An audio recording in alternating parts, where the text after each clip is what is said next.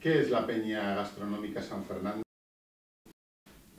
Pues es una donde nos reunimos todo un grupo de compañeros, de amigos, para salir a comer, salir a, a disfrutar de, de, platos típicos por varias ciudades de, de Madrid, de, bueno, de España y juntarnos y, y estar un rato juntos. ¿Cuándo se constituye? Pues se constituyó en el año 96. A raíz de que las señoras se fueron a, a Bruselas, nos juntamos para ir a comer y a partir de ahí pues empezó la, la peña a, a gestarse. Y en el 97 fue la primera salida que hicimos. ¿Cuántas salidas hacéis al año? Pues eh, hacemos una que vamos el fin de semana y luego pues hacemos dos, tres, cuatro, depende de, de las fechas y de si nos podemos juntar todos, cuanto más mejor. Sí. Uno de los motivos por lo que más se conoce a la Peña Gastronómica San Fernando es por su famoso cocido. Uh -huh. ¿Qué, ¿Qué nos puedes decir de este evento? Pues nada, que empezamos un año, en el 98 empezamos a hacer la caldereta, eh, nos juntamos, eh, oye, vamos a hacer una caldereta para las fiestas. Lo, lo dijimos al ayuntamiento, el ayuntamiento nos dijo que sí, y ahí empezó a hacerse la caldereta, luego el cocido, y es una cosa que ya la gente no lo pide, ya es un evento que la gente está deseando que lo hagamos. Y así empezó la, a hacer el cocido. ¿Para cuántas personas estáis eh, haciendo el cocido? Pues a los últimos estamos entre las 4.500 personas más o menos. 4.000, 4.500. ¿Y los ingredientes? ¿Qué cantidades se necesitan? Ahora mismo no te lo puedo decir de, de memoria. 150 kilos de garbanzos.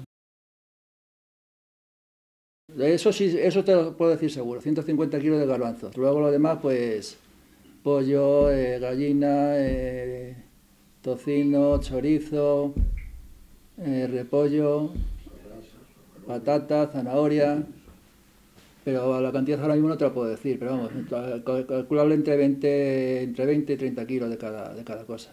Y este año también habéis hecho un cocido para las jornadas de la diversidad. Sí, ese para ese es menos, menos cantidad. Serán unas 300 personas más o menos. Y ahí son 25 kilos de garbanzos. O sea, la, la diferencia es mucha.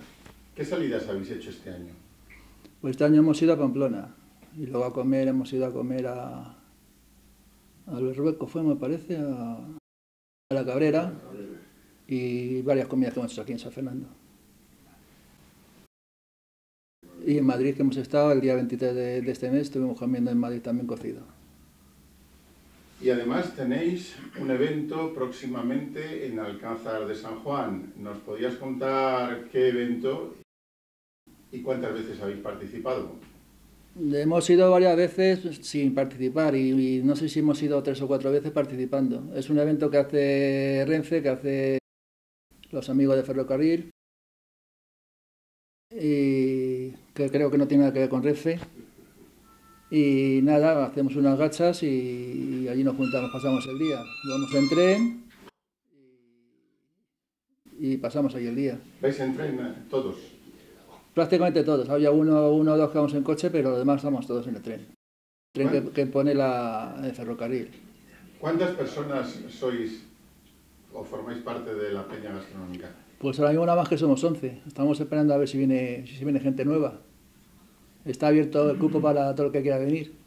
¿Y 11 personas son capaces de dar de comer a 4.500 vecinos? Ahora mismo sí, este año lo hemos hecho. También nos han ayudado las mujeres, pero vamos,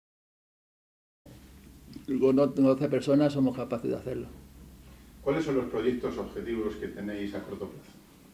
Pues según va saliendo la Junta. Salidas, ir a comer a algún sitio, eh, salir el fin de semana con nuestras mujeres a algún sitio, pero eso se va, se va concretando y se va viendo según en la marcha. Entonces no sois solamente 11, van también vuestras mujeres. En la peña somos nada más que 11. Las mujeres vienen porque vamos por ahí fuera, pues vienen con nosotros, pero la peña es 11 personas ahora mismo nada más. ¿Y los 11 sois cocineros? Hacemos, en casa cocinamos. Luego cocinemos, cocinamos, no, no somos profesionales, pero, pero en casa cocinamos. ¿Y todos cocináis? Por lo menos, más o menos, las mujeres no se pueden quejar. Hay algunos que cocinan más que otros, pero, pero ahí están. contentas con nosotros. ¿Y cómo lleváis esto del reconocimiento por parte de los vecinos de ser en este momento los que les dais de comer en las fiestas con el cocido, que os reconocen por el pueblo?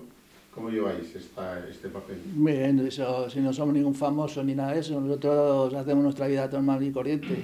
Lo único que están esperando que hagamos el cocido todos los años y ya está. Es lo único. No. Y este año además habéis participado en las fiestas patronales con una caseta. Sí, este año ha sido la primera vez. ¿Cómo han sido los resultados? Bueno, es la primera vez, eh, hemos visto cómo va y ya está. Y el resultado más o menos, parejo.